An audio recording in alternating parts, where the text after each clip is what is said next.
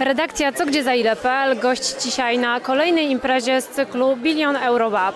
Grudniowa edycja upływa oczywiście pod znakiem Świąt Bożego Narodzenia oraz Sylwestra i Karnawału.